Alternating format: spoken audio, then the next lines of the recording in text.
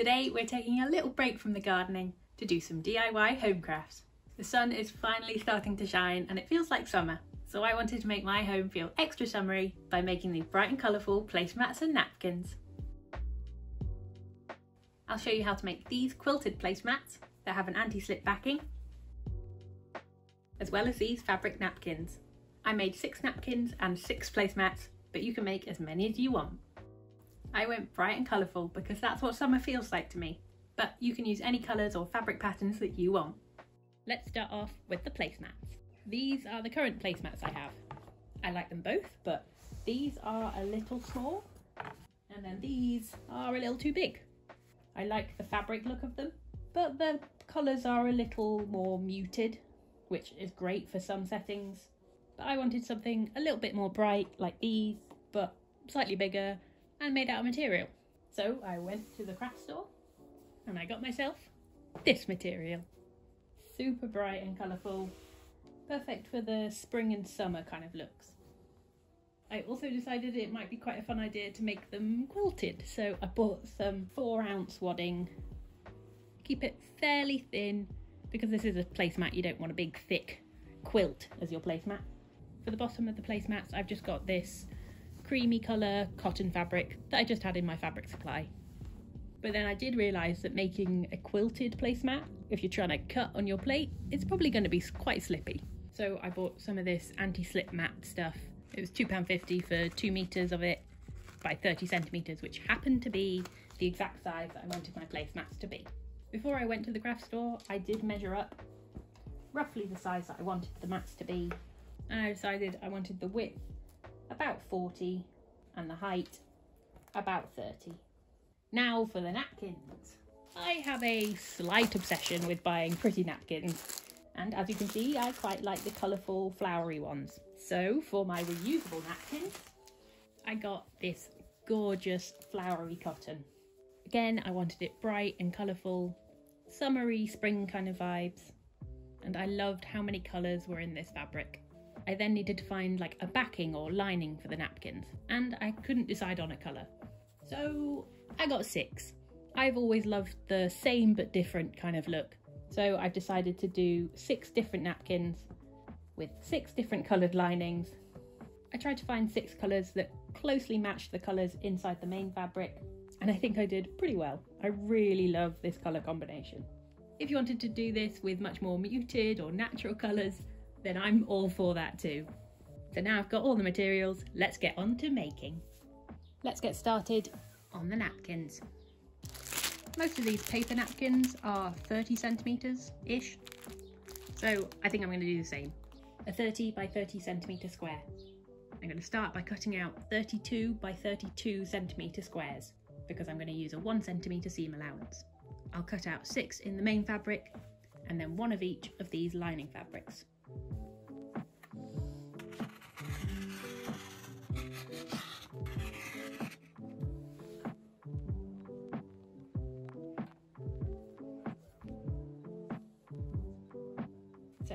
All my squares cut. When I went to the craft store, I did want to get some trim to go around the outside of the napkins, but I couldn't find any that kind of matched what I was going for. But I do have quite a lot of the lining fabric left over, and I'm thinking of making possibly some bias tape to use as a trim. But I'm just debating on whether it needs to be proper bias tape, whether it could just be, you know, a fold of the fabric so that it just looks a little something like that. And I would match the trim to the lining, so this would be for the green. I am not an expert sewer here, so so let me know in the comments if you think this sh I should have used bias tape. But instead, I'm just going to cut out some strips of fabric that I will then fold over and sandwich in the fabrics. About that much, which is, if we call it half a centimetre. So I need to cut out three centimetre strips. You can find trim, like I really wanted to use rickrack kind of looking trim, but I just couldn't find it in the correct colours that I wanted. But I think that would look really nice too. Or you don't even need this bit at all. This is just an extra step that I'm doing. That is all the strips cut out, so it's time to put it all together. First step is to give everything an iron. I'm also going to fold all these strips in half and iron them flat.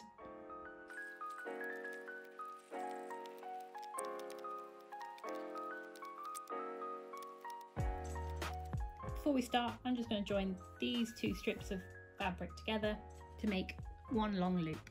So I'm just going to put them right sides together and sew them here and the same at the other end. To start, I'm going to get one of the joined edges and put this somewhere along the edge, just making sure it's not directly in a corner. Just going to add a clip to hold that there. And I'm going to clip all along this edge too. Now, when I come to a corner, I'm going to line up the edges and hold down just in the tip of the corner. Then taking the next strip, fold it down so those edges line up. You'll create this little corner here. I'm going to add some clips as close as I can to the edge, holding the edges together.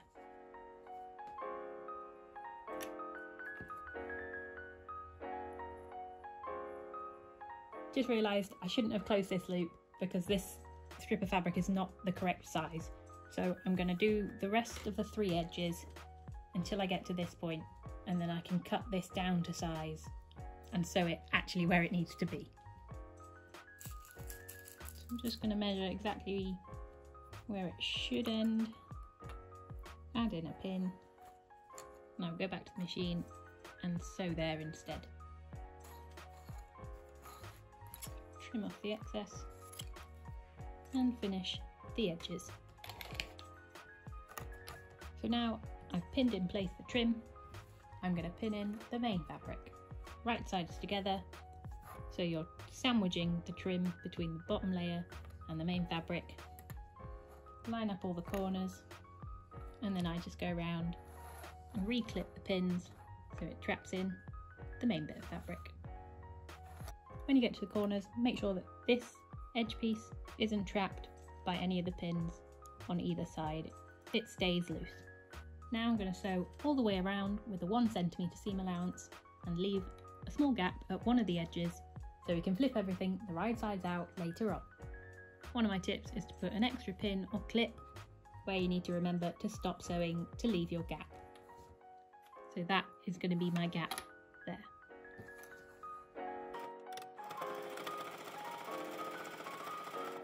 For the corners, make sure we're not sewing down the edge of the trim. Fold the trim over to one side, hold the trim down on one edge. When you get to the corner, with your needle down, put it around the fabric and carry on sewing.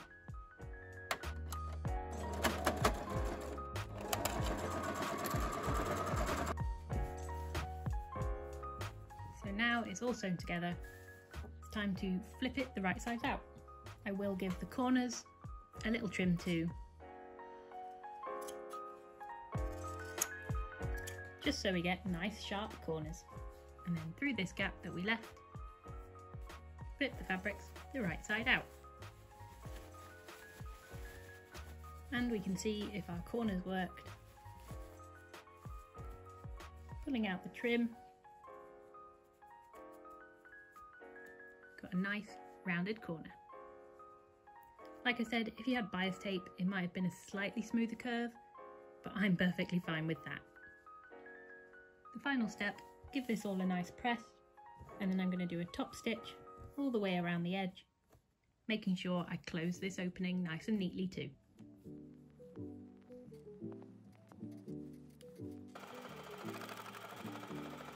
One final trick to just make the edges look extra neat is where I started and ended my threads. I'm going to come onto this side of the fabric and gently pull on the thread until a little loop appears take a pin or something small and pull on the loop until it pulls the thread up. That has taken the thread from this side onto this side. You're going to do the same for the other thread.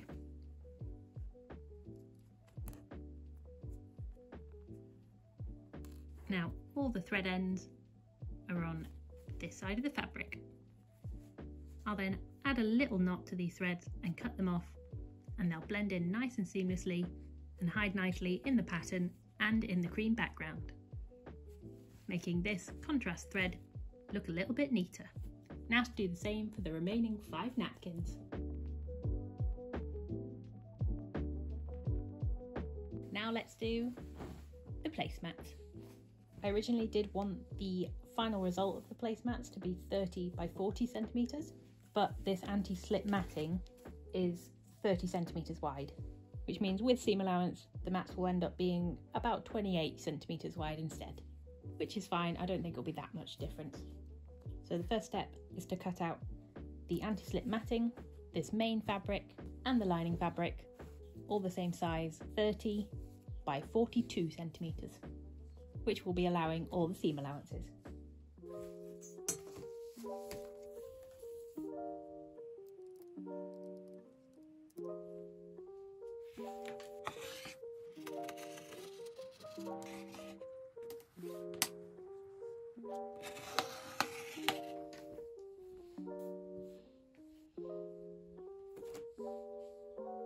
I'm now going to sew them together by having my main piece of fabric, my non-slip fabric in the middle, and my lining fabric sandwiching it all together.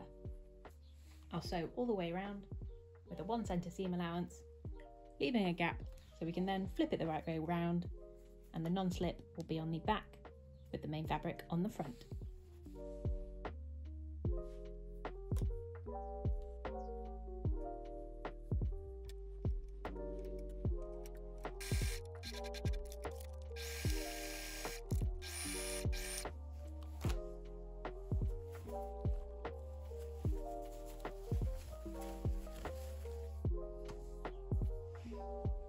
Just given it a press on quite a low setting so I didn't melt the lining underneath. And I do quite like how padded that is already, just from this lining. But I'm going to cut out a piece of wadding to fit inside. I'll cut that out, pop it inside, see how it looks. But if you didn't want to do the wadding, then this is definitely thick enough for a placemat as it is.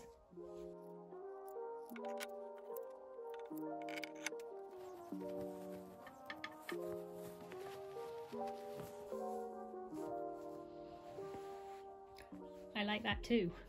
I am planning on doing some quilting lines to hold everything together as well. And I will do an edge stitch all the way around to close off this opening. And we will see how that looks. But I'm going to mark on my quilting lines as well.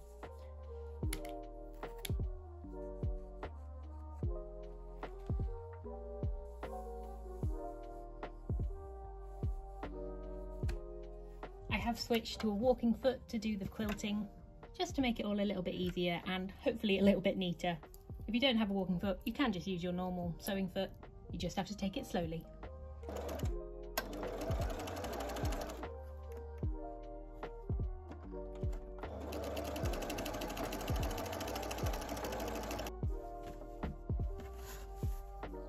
You might have already yelled this at me, but I realised trying to sew this way through is the anti-slip, so it's very difficult for the sewing machine to go over it. So for the outside lines, it was fairly easy. I just flipped it over and sewed with the main fabric down and the walking foot could just step over the non-slip. But for these lines, to keep them exactly where I want them, I'm just going to use a bit of greaseproof paper. I'm going to pin this to the other side of the fabric. Then I can sew on my line this way up so I can follow the lines that I've drawn. And then hopefully I can just tear this greaseproof paper away fairly easily and have nice, clean, straight lines.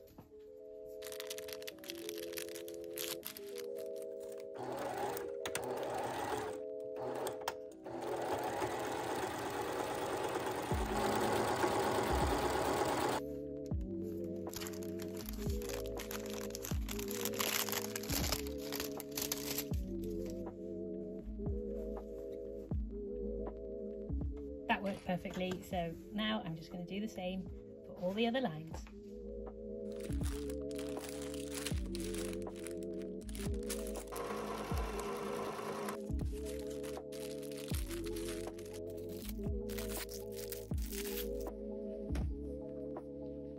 There we go. I've given it a quick press to just flatten it all out and to remove my heat erasable pen and I've tied off all the threads so it's nice and neat and I am really happy with that. I think it definitely needs that bit of wadding to give it a bit of a padding. So now I just have to finish these five and then it will be time to set the table.